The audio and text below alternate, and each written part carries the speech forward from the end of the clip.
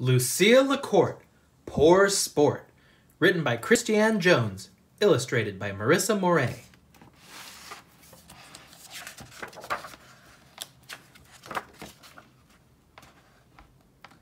To Bob and Mike, thanks for always being such good sports. Christianne. Lucia LaCorte loved Fridays. Why, you ask?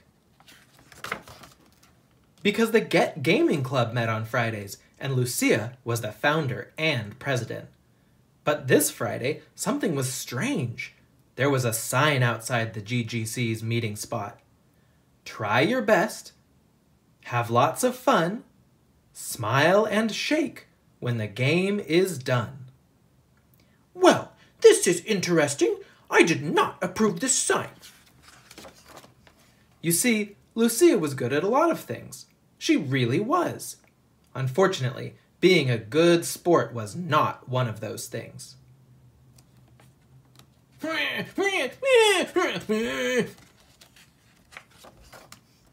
Obviously, Lucia was a poor sport when she lost, but she was an even worse sport when she won. Ah! Yay, winner! I'm number one! A poor sport like Lucia had no time for the sign's rhyme. She ripped the sign out of the ground and stomped into the room. Who is responsible for this? The room fell silent. The truth was, all of the other members had made the sign. Lucia had been spoiling their fun, but they were too scared to tell her. If you have a problem with my club, then you can just leave, Lucia announced. If not, let's play some games. So they played some games. But nobody had fun, not even Lucia. The next Friday, Lucia brought a new game to GGC, but nobody was there. Where were her friends?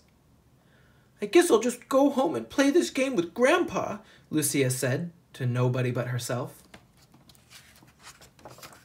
Grandpa was more than happy to play games with Lucia. However, things did not go as expected. Grandpa won the first game. He boasted as he danced around. Woohoo! In your face! Grandpa won the second game, too. He chanted as he marched around the room. I'm number one! I'm number one! That's not very nice, Grandpa, Lucia moaned. Lucia won the third game, but Grandpa was still a poor sport. You cheated! It's not fair! No, I didn't! I won fair and square! Lucia exclaimed. You are not being a good sport, Grandpa. So what should I do? he asked. With that, Lucia had a sudden realization. You should try your best and have lots of fun, then smile and shake when the game is done. That will be hard, but I'll give it a try, Grandpa replied, trying not to smile. Now off to bed. Your dad is upstairs waiting for you. As Lucia got ready for bed, she told her dad about Grandpa, about playing games with Grandpa. Grandpa was so rude, she reported. He has a tendency to be a poor sport, her dad explained. It wasn't any fun, but don't worry, I told him how he should act. And what exactly did you tell him?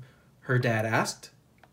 I told him to try his best and have lots of fun, then smile and shake when the game is done, she answered. It's pretty simple. That's my girl, her dad said with a big hug. The next day, Lucia called an emergency GGC meeting. I have an announcement. I've been a poor sport and I'm sorry. Once again, the room fell silent. But then a slow clap started, followed by cheers. Her friends forgave her and couldn't wait to play games again. Try your best, have lots of fun, smile and shake when the game is done. From now on, we will start every meeting with our new pledge, Lucia explained. Lucia announced.